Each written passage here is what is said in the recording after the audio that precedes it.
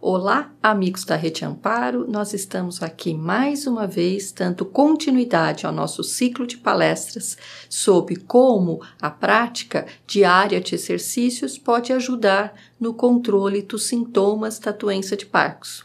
E hoje o nosso assunto é como a prática diária de exercícios, a atividade física, pode ajudar a controlar os problemas intestinais, em particular a constipação intestinal presente na doença de Parkinson. Então, a nossa primeira pergunta de hoje é: o que é a constipação intestinal?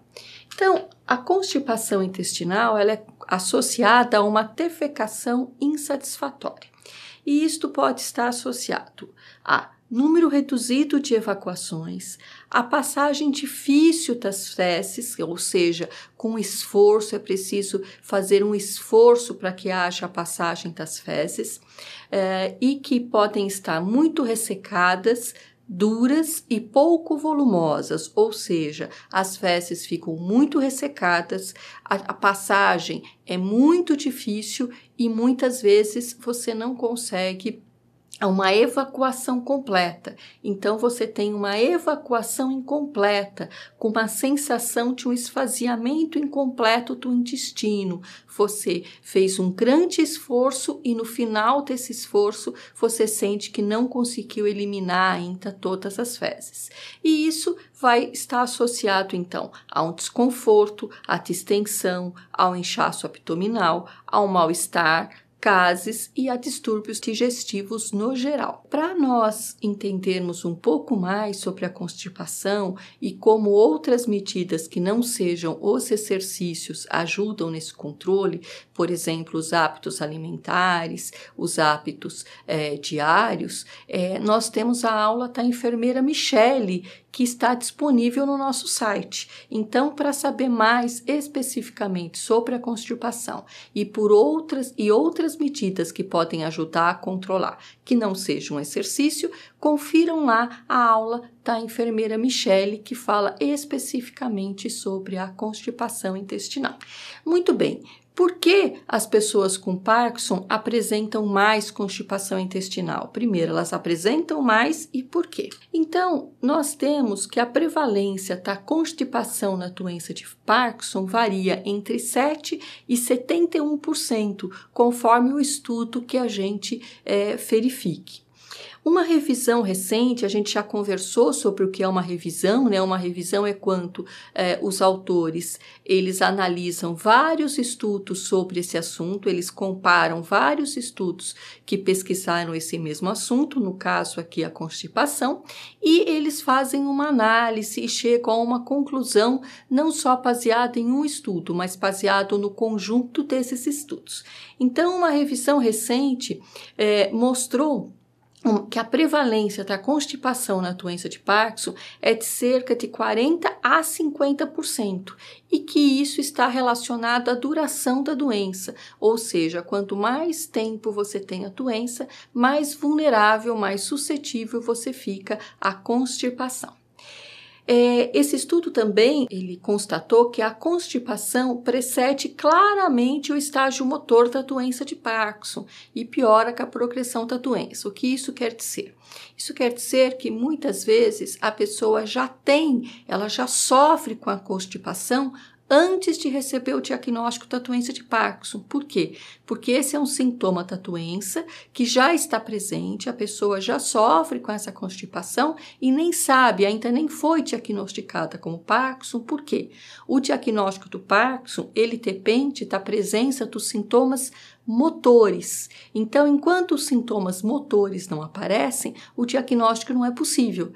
Portanto, esses sintomas que precedem os sintomas motores, eles já estão presentes, eles já indicam que a doença está em andamento, mas eles ainda não, não, não permitem o diagnóstico da doença.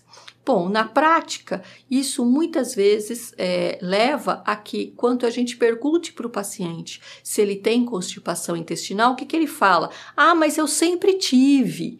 Esse sempre tive muitas vezes está associado à ideia de que ele já tá, ele já vem sofrendo com isso há 10 anos Isso é sim associado à doença de Parkinson, mas ele não sabia. Então ele achava que isso era uma característica dele. Isso não era associado à doença de Parkinson. Então é muito importante que a gente saiba que esse é um sintoma que pode preceder o diagnóstico da doença e sim aquela constipação que você traz há muito tempo, mesmo antes, antes do diagnóstico, é associada à doença de Parkinson. E os estudos demonstram um tempo de trânsito prolongado do cólon em pacientes não tratados com doença de Parkinson, indicando que a constipação ela não é consequência do uso da medicação, como muitas pessoas acreditam que a constipação é uh, causada pela medicação da doença de Parkinson. Não. Então, esses estudos que mostram que ela está presente antes da doença, ou seja,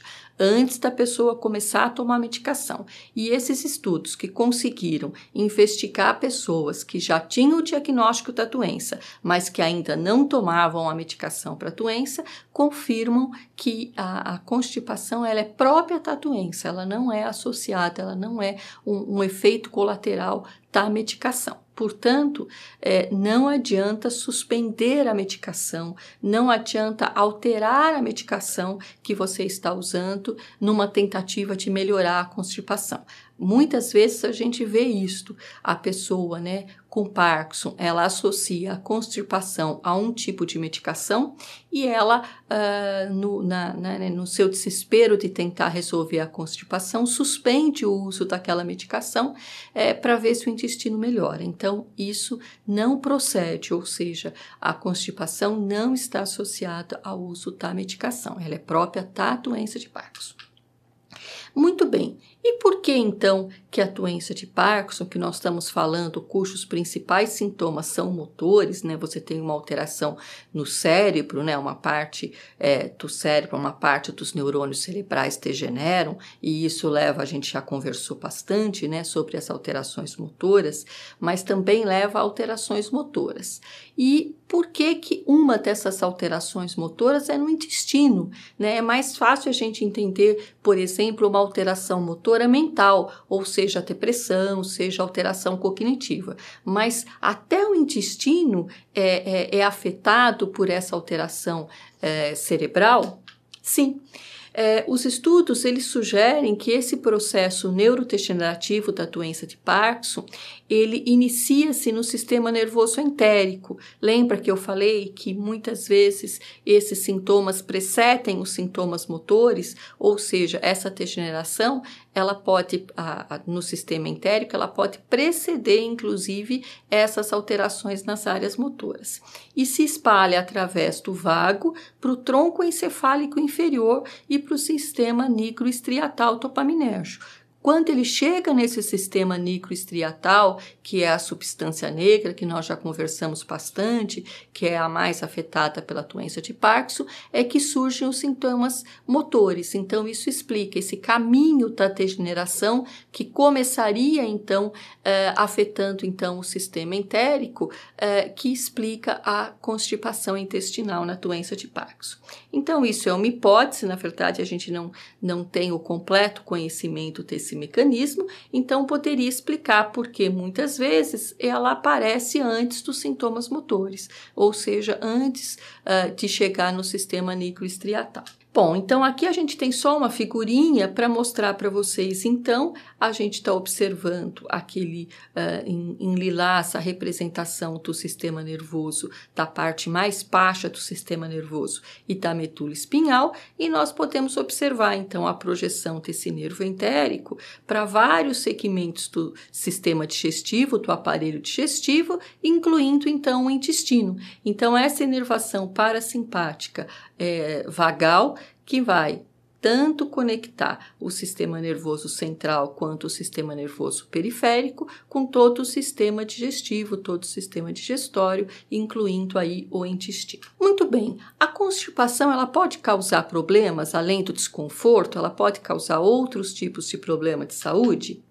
Sim, a constipação ela afeta a qualidade de vida de pessoas com Parkinson, então tem uh, estudos mostrando que quem sofre com constipação uh, refere uma pior qualidade de vida. A gente sabe o quanto uh, essa, esse sintoma é desconfortável para a pessoa.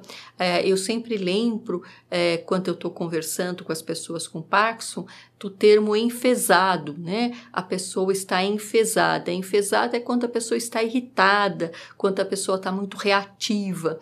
E o termo enfesado vem exatamente da dificuldade de eliminar fezes. Então, é, um, é, uma, é uma expressão que já associa a alteração de humor à dificuldade de eliminar as fezes. A presença de constipação pode aumentar a gravidade dos sintomas motores e diminuir os níveis de dopamina no sistema nicoestriatal. Então, essa alteração intestinal, ela dificulta, ela altera a absorção da medicação e isso leva então a uma diminuição do resultado dos efeitos da medicação. E a constipação ela é fator de risco para neoplasia coloretal e ela foi relacionada a maior tempo de contato dos agentes carcinogênicos das fezes com o intestino, ou seja, o fato das fezes ficarem paradas dentro do intestino, isso pode favorecer uma maior exposição que fique que tenham maior tempo de contato entre agentes carcinogênicos que estão presentes no ambiente nas, na, na, uh, e, e, e, e, com isso atingem os alimentos e atingindo os alimentos quanto nós ingerimos, eles acabam é, chegando até as fezes com a parede do intestino. Então, vocês veem que a constipação, além do desconforto, pode trazer outras alterações é, gerais ou específicas para a doença de Parkinson. Bom, a prática diária de exercícios pode ajudar a melhorar a constipação? Esse é o tema da nossa uh, conversa de hoje. Bom, então eu separei aqui um artigo, né? É um artigo recente de 2019 de uma revista importante, é, em que fez essa investigação, né? Que fez a investigação entre é, quais fatores, especificamente no, na nossa conversa de hoje, a, a, a prática diária de exercícios, a mobilidade, podem afetar, como que eles podem afetar a constipação o que os autores queriam descobrir, quer dizer, qual era a pergunta que levou os autores a iniciar essa pesquisa, a iniciar esse trabalho. Qual a prevalência da constipação em uma população de pessoas com doença de Parkinson e investigar quais fatores influenciam o desenvolvimento desse, dessa alteração da constipação. Bom, o que, que eles fizeram para descobrir isso? Eles avaliaram 250 pessoas com doença de Parkinson e 65 indivíduos saudáveis, pareados por idade, e esses indivíduos, então, eles serviram como controle para permitir que a gente compare, então, as pessoas com e sem Parkinson. A constipação ela foi avaliada usando um questionário, usando uma, um, um sistema de pontuação para constipação, ou seja, é um questionário que, por meio dessas das respostas das pessoas, ele consegue classificar a constipação como mais leve ou mais severa. E todos os participantes realizaram também uma avaliação global clínica, funcional e neuropsicológica para então se investigar quais fatores estariam associados à pior, é, a, a constipação mais severa. Bom, é, vamos entender um pouquinho o que esse questionário perguntava que, que esse questionário que foi usado para investigar a severidade da constipação investigava. Então, ele investigava primeiro a frequência de, eva de evacuação e o nível de dificuldade, o nível de esforço, se essa evacuação tinha ou não a presença de dor. A completude, ou seja, se ela, eh, se após a evacuação você eh, se mantinha uma sensação de evacuação incompleta. A dor abdominal e o tempo em minutos é, que a pessoa leva é, sentada no vaso sanitário tentando eliminar as fezes. O tipo de assistência necessário para a defecação. Então, precisa de supositório, precisa de alguma assistência mecânica para a defecação. A falha, ou seja, o número de tentativas mal sucedidas de evacuação em 24 horas, ou seja, quantas vezes a pessoa teve um ameaço e não conseguiu evacuar, ou seja, sentiu o intestino em movimentação, foi ao banheiro, foi ao sanitário, mas não conseguiu evacuar a história, há quanto tempo que esses sintomas persistem, ou seja, há quanto tempo que esses sintomas incomodam. E então, com base nessas respostas, a constipação é gratuada em leve, quando tem uma pontuação de 1 a 5, moderada, quando tem uma pontuação de 6 a 10, grave de 11 a 15 e muito grave de 15 a 30. Então, foi em cima dessas respostas, desta pontuação, que esse estudo foi feito. E o que eles descobriram? Primeiro, não houve correlação entre a tosagem de, de levotopa e a constipação intestinal, confirmando o que nós já falamos, que a constipação ela não é um efeito colateral da medicação. A medicação pode continuar tomando a sua medicação. Ah, nós temos também uma palestra disponível aqui na Rede Amparo falando da importância de seguir corretamente toda a orientação da medicação, tanto em relação ao horário quanto frequência é, e tipo de medicação. Outra palestra da enfermeira Michele que vocês podem encontrar disponíveis aqui no nosso site. A gravidade da constipação em pessoas com doença de Parkinson foi fortemente associada de forma negativa, ou seja, quem faz mais tem menos, com a capacidade de andar longas distâncias avaliada por um teste de andar seis minutos sem parar. Ou seja, quem tinha melhor desempenho nesse teste, que envolve a capacidade de andar seis minutos sem interrupção, ou seja, quem tinha uma melhor capacidade física para realizar esse teste tinha menos constipação. E quem tinha mais dificuldade para realizar esse teste, quem tinha menos, menos capacidade física para andar seis minutos sem parar, ele tinha mais sintomas de constipação. Os sintomas de constipação eram mais severos, eram mais graves. Em outras palavras, quanto menos as pessoas caminhavam, ou seja, quanto menos condicionadas elas estavam, mais eles estavam constipados. Então, ou seja, há uma associação entre a capacidade física, a capacidade de movimentação, a mobilidade e a constipação. Então, as principais conclusões desse estudo são que pessoas com Parkinson precisam realizar atividades físicas diárias para manter ou aumentar a sua capacidade de andar longas distâncias, a fim de reduzir o risco de apresentarem é, constipação grave. E é amplamente sabido que o exercício regular ele reduz o risco de constipação.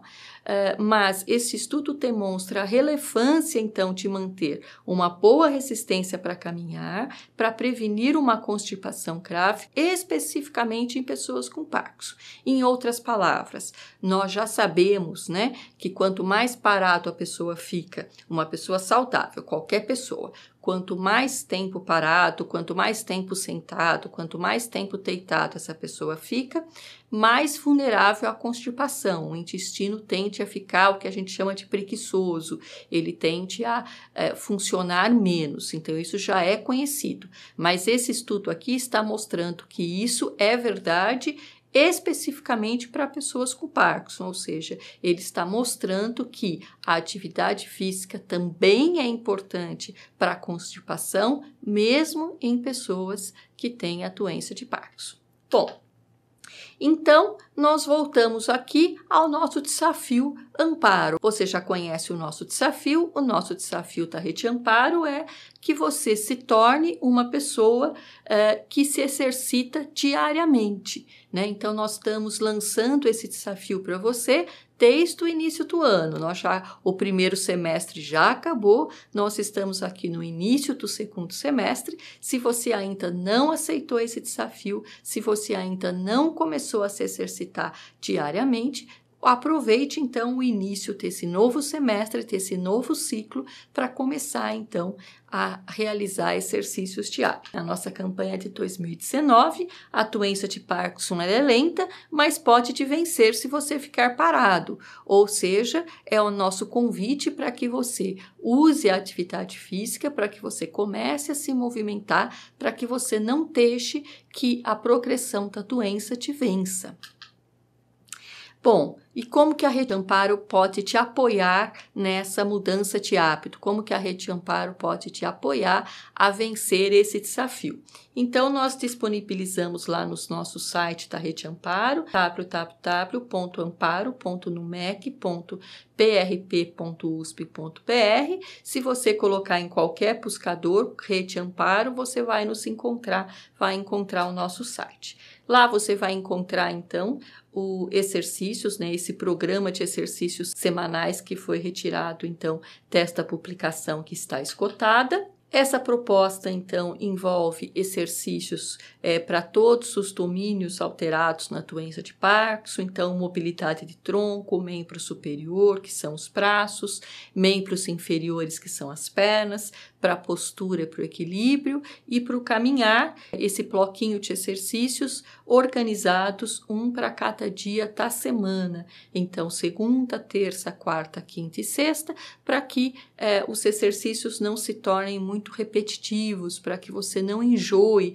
de fazer os exercícios. A cada dia da semana você tem exercícios diferentes para realizar as nossas recomendações, que nós também já conversamos em todas as nossas palestras, né? É, visualize o exercício na tela do celular ou imprima esses exercícios para que você tenha sempre à mão.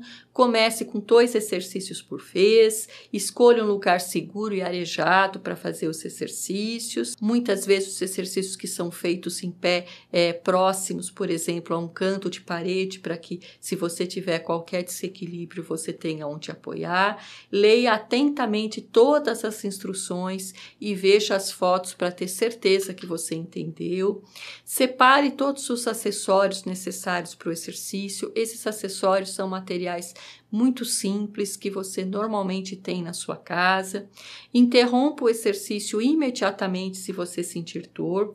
Confira se o que sentiu coincide com o que o exercício descreve. Então, cada exercício lá no final tem o que você deve sentir. Veja se o que você sentiu coincide com o que está descrito ali Descanse e beba água durante os exercícios, particularmente no tempo seco. Uh, aqui na região sul e sudeste, é, o inverno ele é muito seco, na região centro-oeste também, e isso uh, favorece então os problemas respiratórios, a garganta fica muito seco, o nariz fica muito seco. Então, é, nessa época mais seca, reforce a quantidade de água que você toma, que você ingere durante a prática de exercícios. Um aviso importante que a gente tem repetido em todas as palestras: não interrompa as demais atividades físicas que você já pratica. Então, se você caminha, continue caminhando. Se você faz fisioterapia, se você faz educação física, se você faz hidroginástica, hidroterapia,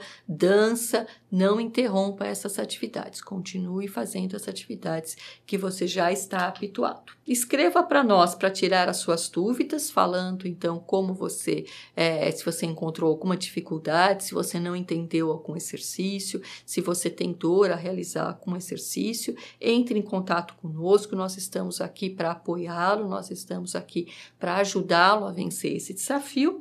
E aqui nós temos então tanto o e-mail da Rede Amparo como a nossa página no Facebook. Na nossa página no Facebook você pode conversar conosco, como também pode contar a sua experiência com os exercícios, também pode postar, por exemplo, a sua foto fazendo os exercícios, compartilhando a sua experiência com os colegas e estimulando que os colegas também vençam esse desafio. Muito obrigada, até o nosso próximo encontro.